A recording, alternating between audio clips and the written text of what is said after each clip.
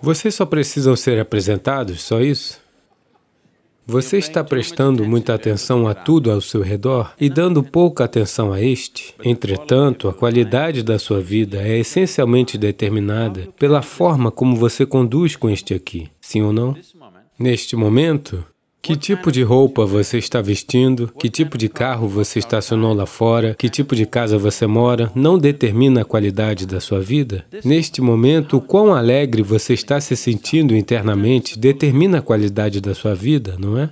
Nada foi feito a respeito disso? Você acha que isso vai acontecer como consequência? E você está estabelecendo metas impossíveis para a sua felicidade? Se eu tiver que ser feliz, minha esposa deveria ser assim, meu marido deveria ser desse jeito, meus filhos daquele jeito, o mundo de algum outro jeito. Bem, essas são condições impossíveis que você está definindo para a sua felicidade e sua paz. Agora que você se comprometeu com a paz, por que eu estou dizendo comprometido com a paz é... Porque muitas pessoas desistiram dos desejos de estar em êxtase ou radiantes, se eu estiver apenas em paz é o suficiente. Mesmo os chamados líderes espirituais estão dizendo que a paz é o objetivo mais elevado na sua vida. A paz não é o objetivo mais elevado na sua vida? Se você quiser desfrutar do seu almoço hoje, você deve estar em paz, sim ou não? Se você não está nem mesmo em paz, não há nada na sua vida que você possa fazer de uma maneira que vale a pena. Estar em paz essencialmente significa que você não está bagunçando sua mente. Estar em paz significa que seu sistema está tranquilo. Você sabe como conduzir sua mente, você sabe conduzir suas emoções, seu corpo e suas energias. Você está em paz? Não é uma tecnologia para foguetes, é a coisa mais básica. Você tem um cachorro em casa. Você dá comida para ele, ele senta pacificamente. Talvez não em êxtase, mas em paz. Muitas vezes eles estão em êxtase também. Sim? Se o seu cachorro é capaz de sentar em paz, ah, ele não precisa administrar minha fábrica. Essa não é a questão, ele tem suas próprias coisas acontecendo.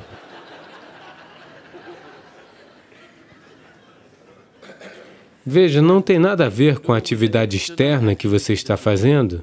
Tem algo a ver com os sistemas internos, como eles estão funcionando. Essencialmente, isso significa que nem seu corpo, nem sua mente, nem sua química, nem suas emoções, nem sua energia estão recebendo instruções suas, eles estão fazendo suas próprias coisas. Uma vez que a sua máquina não esteja em seu controle, é impossível estar em paz. Vou te contar uma coisa, você entra no seu carro e agora você vai e quer virar para esse lado, você faz isso com o volante e o carro vai para aquele lado. Você pode dirigir em paz este carro? Pode? Não. A ansiedade é natural, não é? Isso é o que aconteceu com o seu veículo? Está fora de controle? E para começar, você nunca fez nada para descobrir onde está o volante? Este aqui não é tão simples como um carro, este é um super, super computador. Agora o problema é que a maioria das pessoas nem mesmo se preocupou em achar o teclado. Elas acham que se fizerem isso, de alguma forma vai funcionar.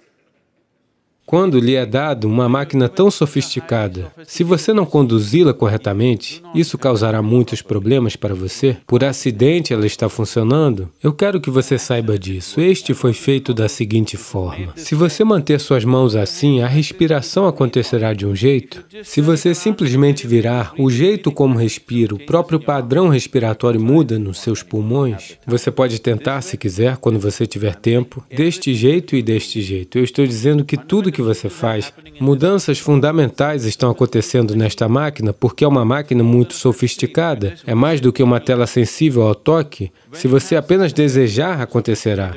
Quando você tem uma máquina tão sensível e sofisticada e você está operando como um ferreiro, então estar em paz parece ser difícil. A paz não é o objetivo mais elevado na sua vida, é o requisito mais fundamental. Nunca estabeleça a paz como o objetivo mais elevado. Se você fizer isso, você só vai descansar em paz. Você deve saber que estar em paz é a primeira coisa na sua vida, não é? Se você quer fazer qualquer coisa sensata na sua vida, se você quiser conduzir qualquer situação em sua vida com sensatez, estar em paz e feliz é fundamental. Uma coisa tão fundamental está subindo aos céus hoje em dia. As pessoas acham que vão ficar em paz em outro lugar, não aqui, porque você nunca prestou atenção nesta máquina.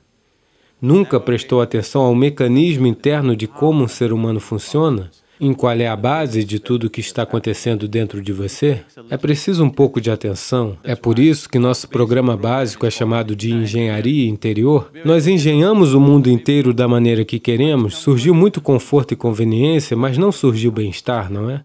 Porque o bem-estar não virá. O bem-estar só virá quando este for engenhado da forma que você quer, só então você conhecerá o bem-estar.